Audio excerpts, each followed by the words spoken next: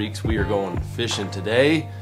Uh, it is overcast and windy right before a cold front today. And I thought it has been a little while since I've gone out to my particular Nemesis Lake that's close by and just absolutely caught nothing. And I, it's high time. It's high time to do it. I do it once a quarter.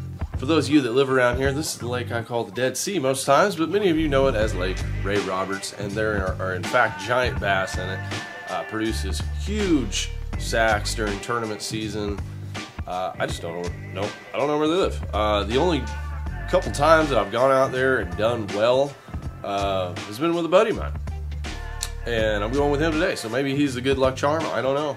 I did manage to slay some crappie last year there, and it kind of opened my eyes to how good the crappie fishing is. Uh, so I do need to dial that in. I'm going to be doing that this year, but I've got that itch on bass right now. It's like the hearts are beating on both sides right now. My crappie heart, my bass heart. And guys, we have so many new baits. Oh my gosh, I'm so excited about uh, this February launch. I'm talking everything from two and a half inch tubes to our happy trailers. Gotta have it on your vibe jig, absolute must. Uh, love grubs. Uh, I mean, the Slizzard's already here. The double Colorado blade, thumper blades are coming out. Uh, oh, uh, the iterations of reels, those are coming at some point, not right now, but I've got new samples of those I'm fishing with today. Just a lot going on. Oh, and the crappie jigs are now, the crappie jigs are flowing in. Crappie jigs are flowing in. GooganSquad.com, use code LFG, save 10% off on all this stuff. But today we're rolling out in the Silver Bullet. I think it's gonna be its last ride. Here she is, Silver Bullet, my darling. Come here, sugar. Oh, oh, you've been such a good one.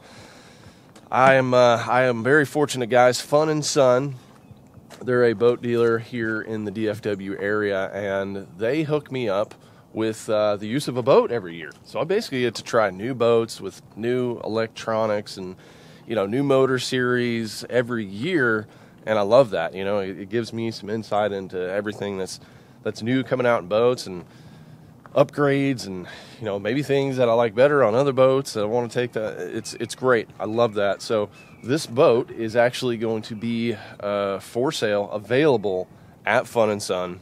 I will have to say this has been my favorite silver bullet for a couple of reasons.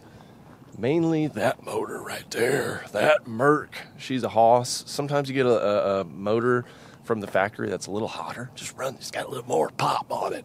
And from my experience with the Mercuries I've been running, this one just has a little more juice on it. I don't know. I don't know. It could be the motor. It could be the balance of everything in the boat. This this boat just has a little, a little bit more giddy up. And I love the one graph system up front. The one graph. I don't like the two, the double graphs. It gets kind of confusing. I know some guys like that, but I like the one big jumbo right there at the console. And for me, doing bass and crappie, you know, having having the Ultrex, of course, this has been the favorite trolling motor that I've run so far. Uh, I've I've run a lot of these, um, but having the extra turret, then having the 360, um, it's an um, unbeatable combo for offshore fishing, and then wanting to crappie, you spot lock, then you get your turret game on. So sadly, I think today is going to be her last ride. There's also this thing with with new boats where it's like before you've got on some fish and, and caught them, it, it, it's there's like a it almost feels like a curse you need to break on it. You're like, ah, I'm not I'm not catching any fish in this boat. What's wrong with this boat, man? Doesn't have the right juice on it. It's just you mentally, really. But uh, this boat has the juice. You know what I mean? Like I think the first time I went out in it, first couple of times I went out, I caught them. Then I caught like a nine pounder, like fresh, like two or three weeks old. I was like, oh my gosh, I knew it was going to be a good one from there. But there ain't no amount of luck that can save you from the possible goose egg on old Ray Bob.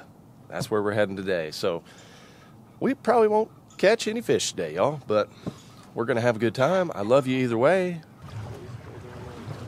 She's a nippy. Fired up.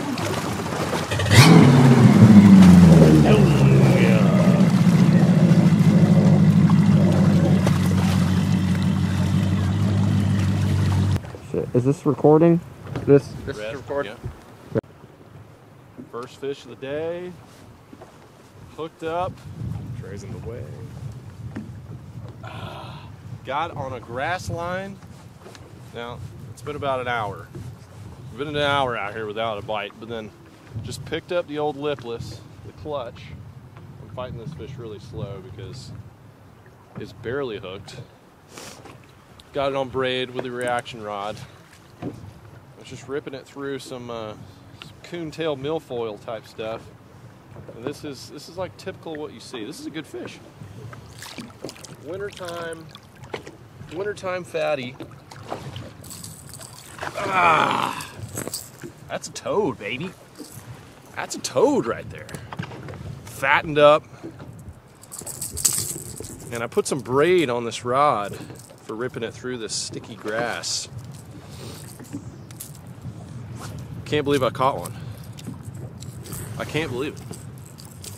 This this lake is just it's the nemesis lake for me, but heck, that's a good one. thing about wintertime fishing is you do have the chance of catching big ones like that. Look at that, that's a new color for this spring. Trey, we've got a uh, we've got like a clear red that's uh, that's money or cash Cash craw. cash raw. S- Yeah, sriracha's got a little more yellow in it, chartreuse, but this is like straight red. Flaming hot. Flaming Hot is is, uh, is the name, name of that.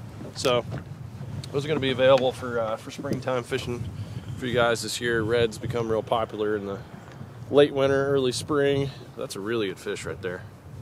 I'll take that all day. Oh yeah. We've also got some duck hunters out here on the bank. I said they lost a duck, and they're uh, they're requesting that we go out here and try to retrieve it for them. So, hey, casting and blasting, baby. Literally caught this bass right in front of some decoys. All right, we're gonna let this one go. I'm gonna say that's that's pretty much four pounder. Look how thick its tail is. Super thick, healthy bass. We'll let that one go.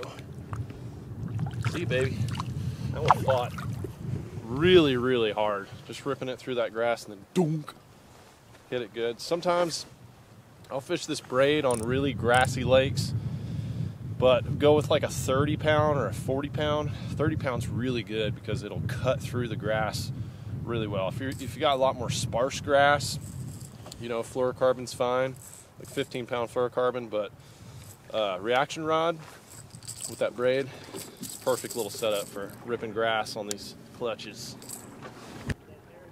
duck that is held up in. In the triangle cross section.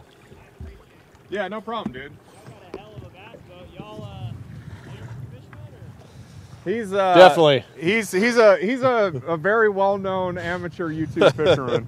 Are you really? Yeah, You Yeah. channel? yeah. Lake Fork guys, my channel.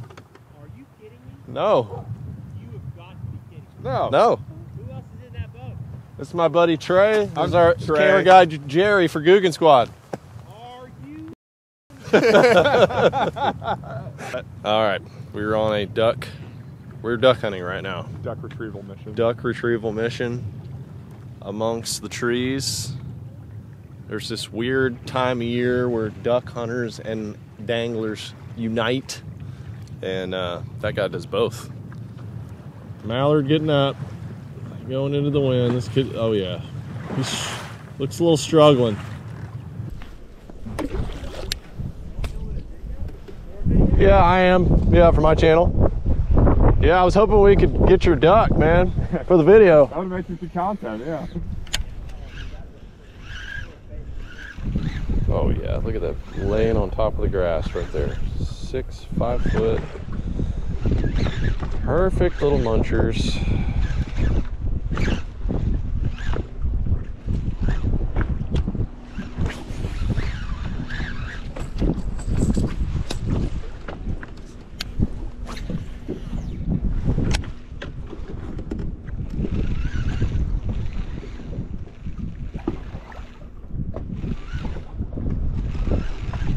Good lead in.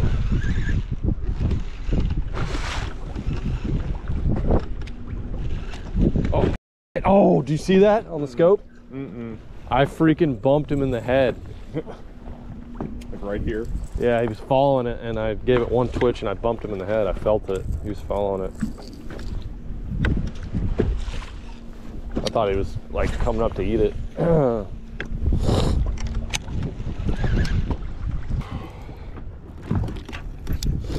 All right, guys, breaking out the double barrel shotgun here. Getting dangerous.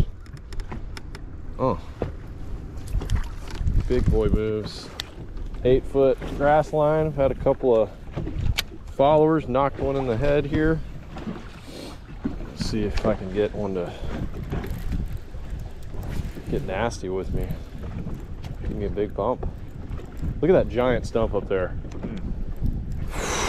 Holy cow. On props, you think that's trolling motor prop. Woo! That one's a damage. Come up names for that little crappie tube and the little crappie grub coming out. Oh, crappie grub. Is it a single tail? Waiting on samples on it. It's a little double tail. It's basically the. Oh, sh- oh, Terry's on. How how far up there were you? Need the net? Biggin? That's a good. That's another good one.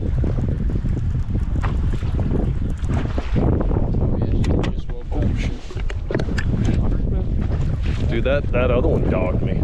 Oh shoot, Terry, that's a good one. Hang on, son. Oh shoot. Hang on, buddy. We might need a net. Yeah. Yeah.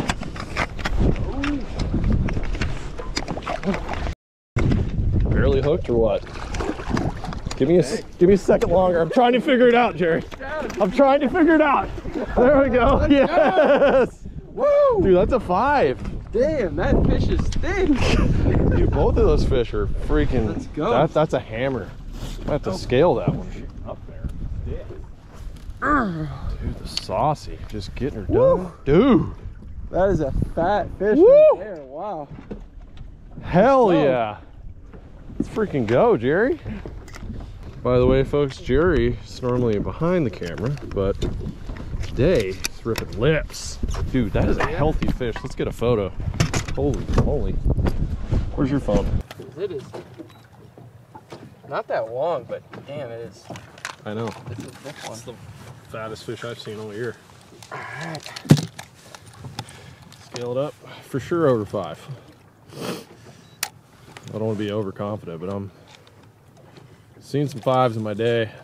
And oh, it just went six for a second.